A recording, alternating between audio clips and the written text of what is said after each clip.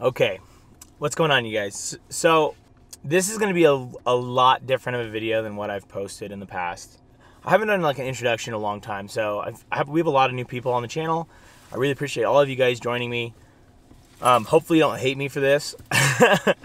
but, so my name's Andrew. Uh, I'm a fly fishing guide. I guide on the Truckee River and on Pyramid Lake in Nevada. I live in Reno. I run this YouTube channel, uh, make videos. I used to be a photographer, um, and now I just make videos. I actually serve tables at a restaurant. That just makes ends meet for, meet for me. Uh, recently, I went on a trip with a couple of YouTubers, and they don't fly fish. They all basically conventional fish, um, and it looked like so much fun. Like it looked like like just the amount of like the technical ability that was required um, the thought that went into it, into selecting the spot, you know, all of it as a whole, it just looked very fun. And like, I love fly fishing. I grew, I've fly fished for literally 20 years, and I'm 25, so I don't know if that puts into perspective. So it's been my whole life. When I was a kid, from that three to eight, nine years old, when I kind of lacked the mechanics to successfully fly fish in all situations, um, I used to conventional fish. I would throw spinning rods. I'd I caught a bunch of trout at Crowley Lake on spinners when I was young because I couldn't set the hook and keep a fish hooked. And I, you know, basically, I used to conventional fish all the time. I used to be, I used to bass fish. I'm from Bakersfield, California.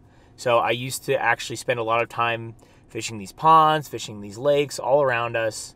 And uh, there was no trout in those. It was all bass fishing. So I'd go throw a drop shot rig. It was my all time favorite rig, or catch fish on buzz baits or chatter baits or you name it. Um, after going on this trip, I realized that I have been cutting myself short in this like forever pursuit to only catch fish on a fly rod.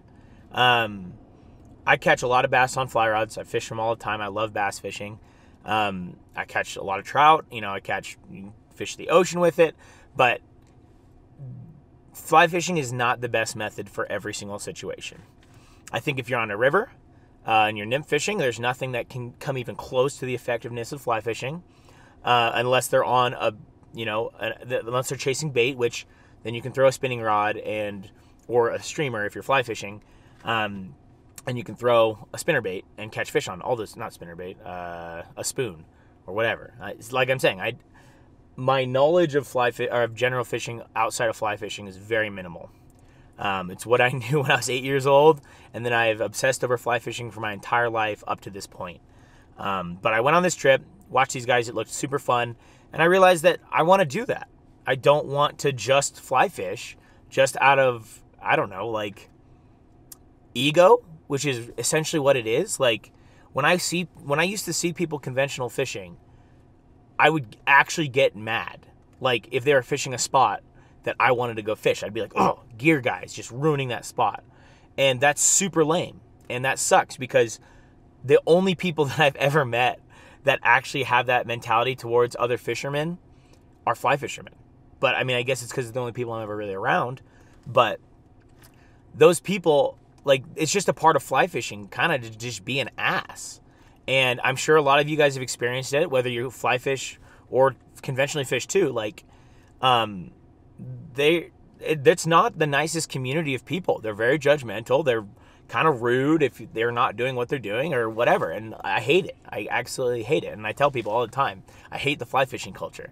I'm a part of it. I mean, I, I don't know if I've done my part to really like make it any better, but um, this whole thing is basically just going to be about me relearning how to bass fish, long story short.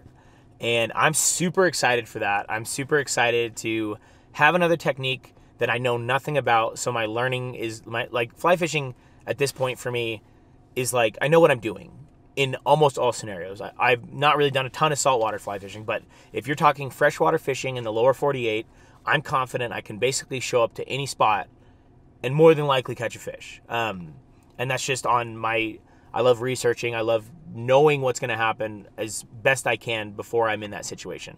Um, and that's going to help me with bass fishing. It's actually going to probably make me very effective at bass fishing because of the amount of research and time I put into what I'm doing before I even go do it.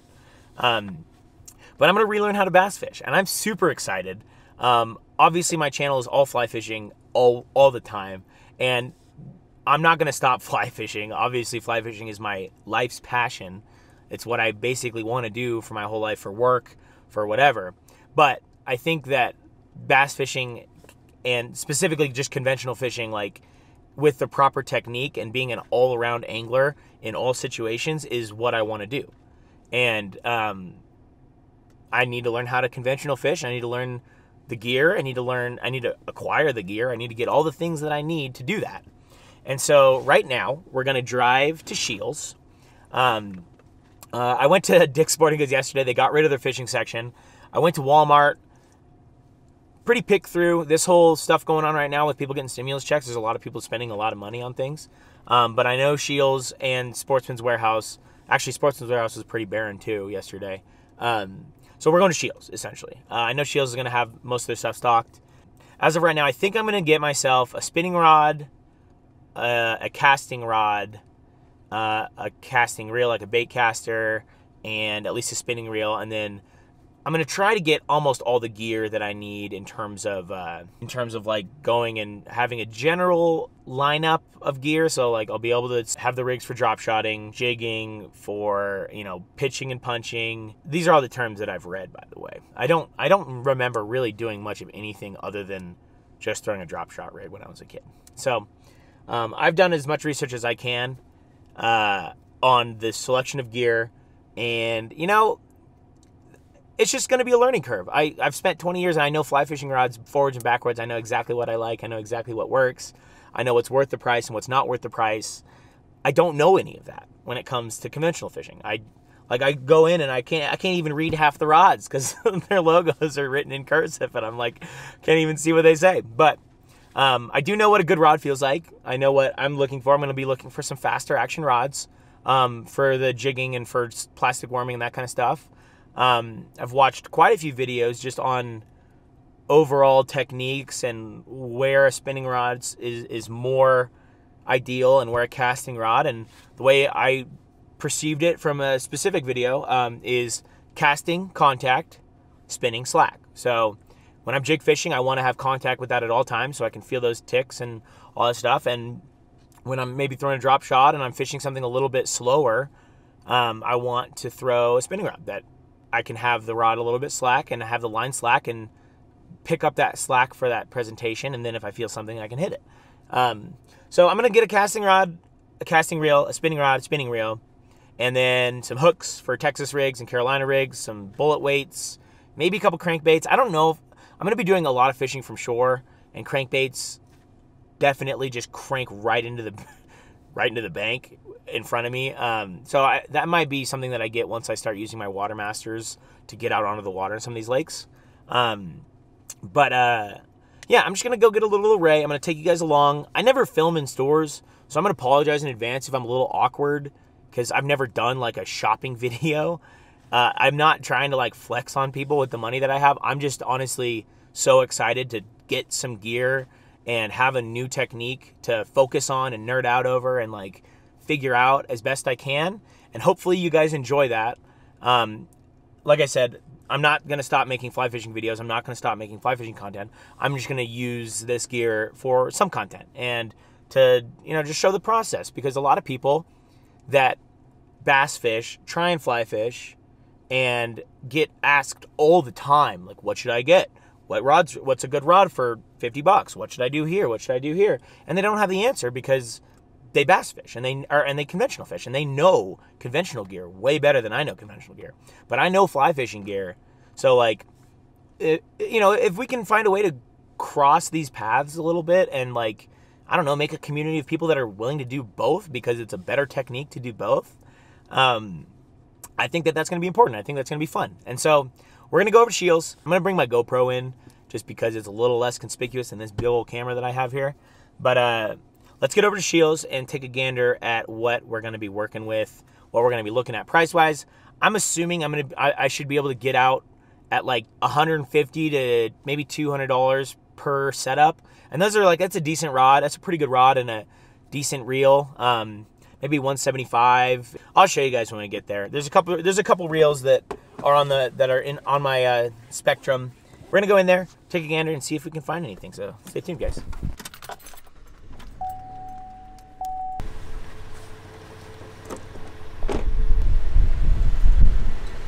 All right, gang. I've made it to Scheels. We're recording on the GoPro just because it's a little more inconspicuous, but uh, it's like I don't even know where to start, honestly. So we're gonna just look at some stuff and see what we're looking at. Hmm. I don't know if I like this green. I don't think I like it at all. There's literally, like, how do you even choose? I think what I'm gonna do is they have a Scheels has an actual like fishing person. I'm gonna ask that guy because I got my budget. I know what I'm gonna try and spend, and I need to just make sure I don't make the wrong decision. With I- don't need the nicest stuff, but I don't want to buy something that's absolute garbage. So, all right, so I'm gonna start grabbing some soft plastics. Uh, the associate's reeling up, spooling up some reels, and then he, he's all ears. So let's look at some stuff. From what I hear, gotta go with some stick baits. They're all watermelon. All right. And then we got a green and purple into that. It's so funny. These are so much bigger than what I would normally fish for anything. Like that's a pretty decent sized streamer at the time, but we'll get a beaver. I know that these whack. That was a watermelon red. Let's maybe get. That was a good smaller sized one. I don't like the huge stuff. I'll go a little. Got those. Eh, one of those will do for now. I think I'm gonna go with some of these smaller three inch. Just seems more appropriate. And I'll get one of these four inches. And I think I need some sort of. I already got some sort of crop pattern, but these ridge tails look good. Again, I have no clue what I'm looking at though. Excuse my ignorance in product selection. I do just, I know what colors I like, and I like that kind of burnt orange. If you're wondering why I get so many crayfish patterns, is because where I live, this is like the forage food. This is what I mean. Most places is this way, but specifically where I'm at, this is one of the major forage foods for these bass. So that's why I'm getting so many of these. Shaky heads. These have a small screw or a spring on the top to screw them in. So we're gonna go eighth ounce and three sixteenth ounce shaky heads. So those will be for crayfish, that kind of stuff for jigs, and then get some hooks for just Texas rigging. I've also seen that these are really good for not tearing up your wacky rigs. So I'm gonna get some of these. We'll do a black and blue of a beaver as well. Just another crayfish imitation.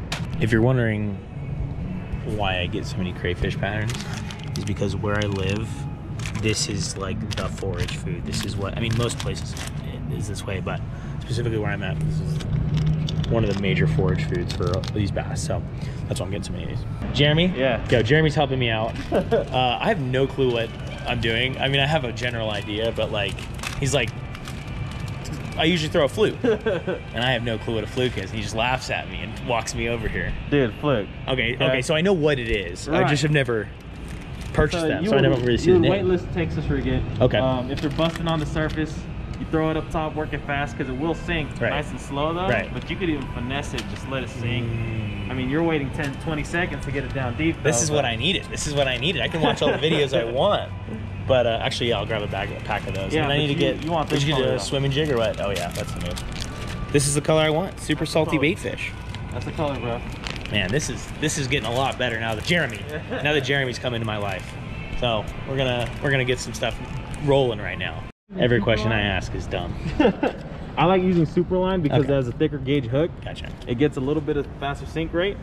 Are these four aughts? Yeah, or you can go I'll go three aught and four aught. Superline belly weighted. You're just gonna have to buy the springs, Ah, CPS springs. these have springs on. Oh, these No, they springs. don't. They're not weighted. That's why. Right. Oh, that makes sense. They don't have anything to anchor them on with. Right. So Okay. if you want a faster sink rate, if, if you're marking them deep, go with the belly weight. Gotcha, gotcha. All news to me. What else do I need from over here? Oh, weights. Definitely need weights. Yeah. Weights. Yeah. Uh, well, I just grabbed these because I can use these for Texas rigs. yeah, you got the weight, bullet weight. No, are they only right here or where they Yeah, I mean, if I need tungsten. I don't think you need tungsten. That's what I was gonna say. You could just get lead. Yeah, let's go lead. Yeah. These are bullet weights? No. Where are the bullet luck. weights? There are no bullet weights. Yeah. He's just letting me. He's letting me look for it, and there's literally nothing for me to find. I mean, he, he right says here. good. He says good luck. Uh, well, one sixteenth will work at least for the shallow stuff that I'm fishing. I assume. Yeah, and then you're dropping. Oh man, my whole world is it's diff- this is a different world. I can answer literally any question about fly fishing, but once we get into the conventional stuff, I'm an idiot. What about a decent topwater flag? And he goes, ooh, Whopper Plopper. I love the names in bass fishing because Yeah. the names of fly fishing are stupid. Oh, that's the mo- oh Jesus. These are smallmouth candy right here. These? Um, typically on the Delta, I use loon, Look at that. but monkey butt, How am I going to spend 17 bucks and justify that? monkey butt, bone, your perch colors. What about like a lipless crankbait just to fish that shallow? Or, eh, eh. A lipless could work too. You just gotta burn it. right, right, right. And you want something you can fish a little slower. Right. Do you have any like small like spooks, like Zara spooks or anything? Cause that, I don't know. I don't know what I'm talking about, dude. Well, see, the thing is, that fluke, you would work it as a spook. Uh, I'd work it shallow because we could go weightless you on could it, yeah, you cast it up there and then you just work it. It'll just twist and it'll sink. forth. It'll sink enough. right. It'll still drop a little bit. yeah. Mm. But if you work it fast enough, it's on the surface.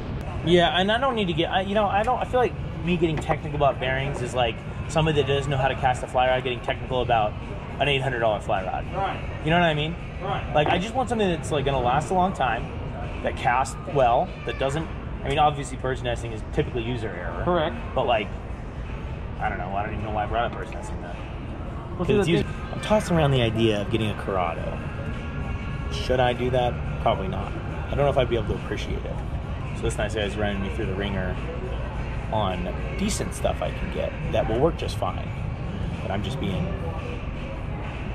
I just sold one or two rods to get all the money that I'm spending on this, and I'm going to be able to get a couple nice setups with what I got from two, just two rods alone, and all the gear I need. So, kind of think I might just get something decent, you know. All right, so I think I'm going to go with the Shimano SLX, right? yeah. SLX, oh, hundred dollar rod, and then I might get a decent casting rod because I can get a pretty good spinning setup Right. out, the, out the door for about hundred bucks. So I'll Right. probably go with that. I- I'll come back and grab that Okay. in a second. Okay. And then I need to make a decision on, on our bait caster real quick.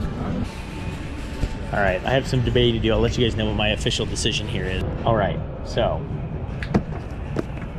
Tatula, right? Tatula? Ta- Tatula. Tatula. I'm an idiot. Tatula. Um, it is a Daiwa bait caster. Regularly $200. This one's marked down to 170 So I think I'm going to go with this one. And then uh, stick with that rod, that, that Shimano was it DLX? SLX. SLX? Yep. So that's gonna be my bait casting setup. That's a pretty mean setup. That's gonna be pretty sick. And then I'm gonna go with a it's a lightning, right? The Berkley lightning rod. For 40 bucks, it's pretty darn sensitive. That's what I'm saying. Yeah. So we'll do the, the Berkley casting rod for The 40 only bucks. reason I got rid of it was I was bass he tells me now he got he got rid of it. Well, because I'm telling you this, because the only reason I got rid of it, well, I upgraded, was because Okay. coworker said, "Hey, try this rod," and it's a, it's a two hundred dollar G Loomis rod. Oh, and you're Right. like, oh. And then I go back to my rod, and I'm just like, "Well, I don't this feel anything noodle. anymore." Yeah, You know what I exactly, mean? exactly. No, and that's and that's the way it goes. But so we'll probably go with that rod because you know, getting into it, I'm probably spending a little more than I should on this. Yes. On this bait casting setup, Yes. but this is gonna probably be my like go-to bait casting setup for a This will time. last you. Yeah, I'm gonna go with that. So, all right, so got the reels, these two bad boys. Now we're gonna go look at Yeah, line. line. So If you can. Do- yeah, if we can. There's like 15 people standing in this aisle. And like I said, I don't like filming in front of people super often, so we'll see how it goes. Like for me, it's Shimano or nothing. Honestly, I, get, being honest. that. Being honest I get that, dude. I totally So, and I've, I've had SpiderWire break on me. I've had uh, Sufix break on me. Power Pro. It's just my go-to. get that. You walk around. Get over there. You know what I'm gonna say? You're gonna say, uh, I'm gonna get Shimano. Well, Lord help me. now, uh, I usually don't splurge on things, is what I should say. Um, but I figured there were a couple combos that I was looking at that were like 220 $230. And they had that uh, Tatula, Tatula, Tatula? I don't know. Um, they had that marked down like $50.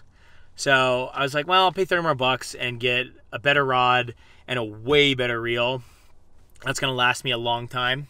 So the way I look at it is it's relatively justified compared to um, the fly, the money that I spent on fly fishing gear. So, um, yeah. So I'm gonna go. I'm gonna go pick up my buddy Cade, who is at uh, his place, um, and we're gonna do some bass ho- pond hopping around this area that I'm in right now, and maybe we'll find some fish. Maybe we won't, but at least I'll be able to get these rods out. I spooled up the spinning rod with braid and I spooled up the casting rod or with a 20 pound braid on the spinning rod, and then I'll run a fluorocarbon leader, um, just so I don't have too much of a flex in that. And then I'll run, uh, I'm running fluorocarbon, uh, 15 pound fluoro on the casting rod. So should be pretty good. Should be set up about right. Um, both of them are kind of heavy sticks, but both for obviously for bassing. So they both should uh, it should work out pretty well. So I'm pretty excited to get fishing with this. Like I said, I haven't really like walked into a place and been like I have no clue what I'm looking at, what I'm talking about. I've known what's going on with with fly fishing gear for a long time, and it's kind of fun uh, getting back into something that I get to just start from ground zero and learn about, and don't have any. I really have no expectations for myself and for what it is. All I know is it should be very fun and should be able to be a good way for me to connect and fish with a bunch of people. I'm gonna go fish with Jeremy, the guy that helped me out. Um, uh, at some point in the next week and a half or so. So that's cool too. But uh, yeah, let's go pick up Cade and uh, see if we can find some fish. I would also just like to point out I don't mean to just like talk trash on the fly fishing community because there's a lot of really cool people and great companies and all kinds of positives and like fly fishing has been a huge positive impact on my life. So I don't mean to talk trash on that, but you knew there was a butt coming. I've never had that positive of an experience going and talking to somebody that works in a fly shop ever in my life. And I've been to a lot of fly shops and I've been to a lot of places. Um, and I've never like genuinely had that good of a time having somebody like willing to teach me and talk to me about stuff that I don't know. And I think that that's a really, really big problem. And I think it's a big reason why people, one, don't love fly fishing or don't want to get into it because it seems like the culture really sucks. And honestly, it does. I would say, like, without, like, from my experience, and obviously, like, as an influencer, I catch a lot of flack for making videos in places that people claim are secret or, you know, don't want other people going there and blah, blah, blah, blah. But from my experience before that, and even when people don't have any clue what I do or whatever, like, it's never that positive of an experience. And I think that's a shame, but also it makes me super stoked to be doing this because I think I'm going to have a lot more fun meeting a lot more people and being able to get out and spend time with a lot of people that are just really fun and, and have a great time fishing. Not to say I don't have a lot of great friends that I fly fish with, but I'm just saying like a majority of the people that I've run into that conventional fish are just stoked to go fishing. And I think that that's going to be super fun. Um, and I'm just really, really excited. And so uh, yeah, I'm saying. What's up? It's Cade. see, this is what I'm talking about right here. This is why you gotta have friends. I don't know if you can see this. It might be overexposed when I go into the sun. Uh, just the pounds of soft plastics. That, and that yellow one's like all UV stuff. Oh, beautiful. Cade's a stud. Uh, my goof ass forgot to buy a tackle box, so I'm gonna be have I have some really full pockets, I guess. You can. You know what? I'm gonna I'm gonna rig these separately. So I'm gonna have that one rigged for something heavier, and then I'll plastic one with the spinning rod. Listen, like, why is this so floppy right now? Well, because there's a thing I have to tighten. I was like, this doesn't feel anything like it did in the store. What's the problem? Uh, it's just because I'm an idiot. That's what the problem is. And now we're cruising. Dude, I know it comes out of it, but like, this won't stop spinning. It's just getting in my way. How do I get it out? Do I pull it up? No, wrapped. Oh, no, no, i pull up. Fire. Yeah, Cade, what are you talking about? It's wrapped. I know what I'm talking about. Look at me. I've done this for a total of uh, six minutes. Oh, beautiful. I went braid because it's low stretch. Um, and basically this is not as nice of a rod, so I wanted a little less stretch in the line for a little more feel, since the rod's not going to be quite as fast as the other one. That might that makes sense to me logically, but does it make sense? I don't know. I don't know what I'm doing. Look at that, my first ever conventional fishing knot. nope, still blood knot, but uh, now I am realizing that I probably should have pliers because I can't bite through braid. I mean, I can try, but I probably shouldn't. So, Little over the hook deal. so F you fly fishing, because you don't have crap like this. Does, That is true. this worm just goes through this, right? Yeah, I believe so. And then you just hook the... Hook the hook underneath and. Yeah. yeah. All right, so we got a little cock ring on this, on my wacky worm. And I'm pretty sure this just hooks right here, Yep. just like so. Oh, dude, that's a fire description on the front. Oh, the old wacky tool. That's sweet. Look at that. Oh, baby. Finesse. They didn't even stand a chance.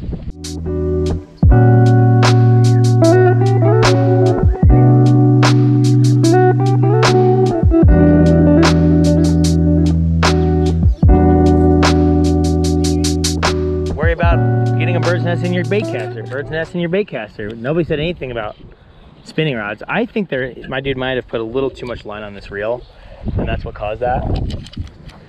He alerted me of a large bass that he just spooked. So I'm gonna, oh, bird's nest right away. Oh God. Well, maybe not. Maybe I'm gonna get it out. You're supposed to keep your finger on it the whole time, right? Yeah, and then are those brakes? Are the brakes set? No, but I know it has them. Here, you want me to try? Okay. Yeah, I don't know what I'm doing, dude. This is horrible. Oh, here I go. Oh, wait, I got it. I got it. Got it? I got it. I got the bird's nest out. Jeez, I pulled so much line off this just now. People be trying to tell me I need to be right hand retrieve, right hand retrieve, and I'm like, no. No. I like to have my strong arm on the rod and my weak arm. So this one here, So, so this I'll just show you, and then you can go. Cade's giving me a crash course, which I'm all Alright. about. So, okay, so that in the water, and then let's see which way this tightens.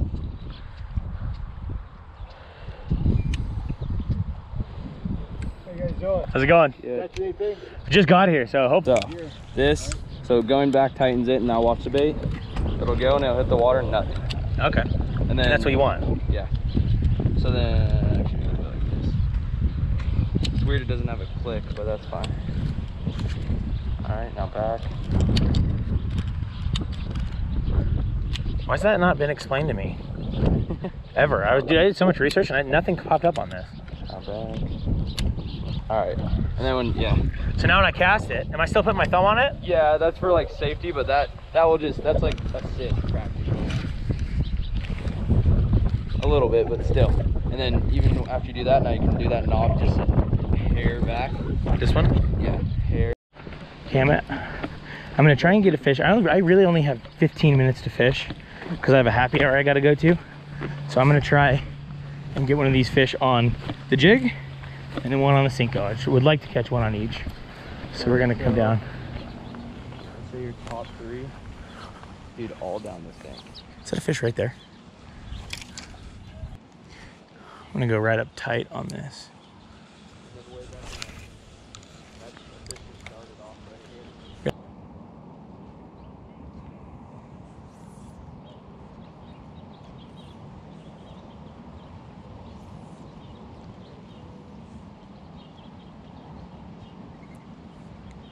Oh, there you go. Yeah, baby. Yeah. Oh my gosh. Yeah. Oh, and he's getting followed. Cast on him. He's got three fish behind him. Dude, cast on him. Yeah. That's a great bass, too. Uh, I, think he, he kind of got out of there. Oh, dude, he whacked that so hard. that was so sick. All right. Dude, that's such a sick fish. He hit that so hard. Look how fat he is for first throw. I'm I'm sorry to do this to you. I know you followed me for fly fishing, but I've just had way too much fun today, and this is the first fish I've caught. Look at that thing. Oh baby. You guys, oh my gosh. Sick little, I don't know, pound and a half fish. See if we get one more. All right, gang. I hate to break, I hate to tell you this, and I hate to do this to you, but I had way too much fun doing that. So I'm gonna be doing that a lot. Uh, Cade, shout out to my buddy Cade for freaking showing me around, uh, showing me how to rig my bait, bait caster so that it doesn't free spool at all times.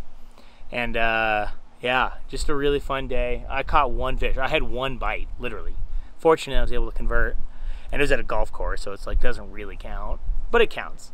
But sick day. Um, and I'm stoked for this. Uh, I'm actually really, really excited to keep doing this. So, um, if you subscribe to me and that pisses you off, I'm sorry.